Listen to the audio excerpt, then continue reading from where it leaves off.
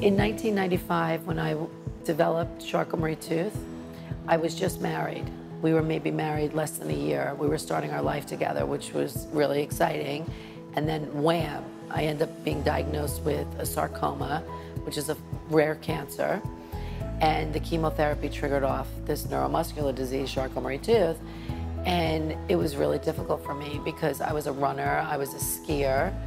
I rollerbladed back then in the that time that's what people did.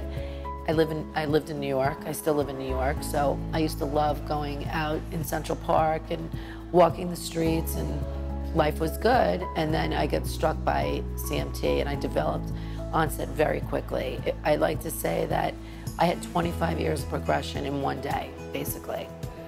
So you can only imagine it was really debilitating because I lost the use of being able to walk normal and I also lost the normal use of my hands. So what that means is uh, you the intrinsic muscles start to get affected. So you're dropping things. I remember after this, I used to eat, I still eat a lot of Japanese or Chinese food, really Japanese food, sushi, I love it.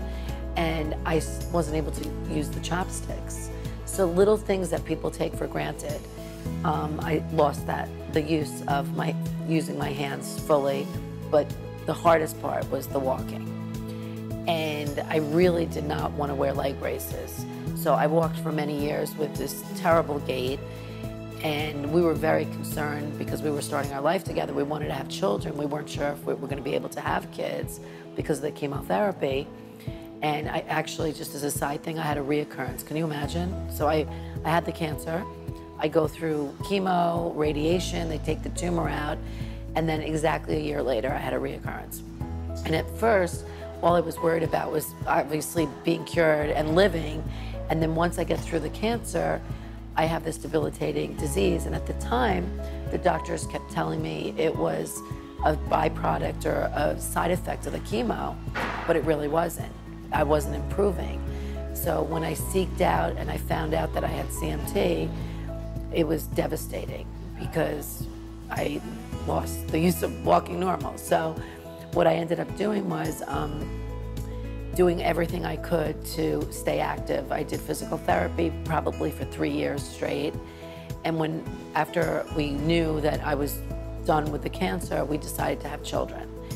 And we knew there was a risk, but now I really know what it's like to live with this disease. And it was a hard decision to make, and I'm glad I had children.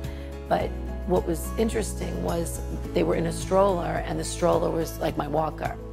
So I kind of got by because I was able to use that and walk.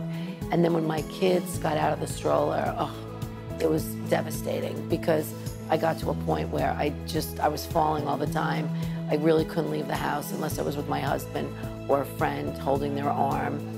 And it just got to be unbearable. So finally at that point, I went and I started, I went to a doctor and I ended up getting a prescription for AFOs.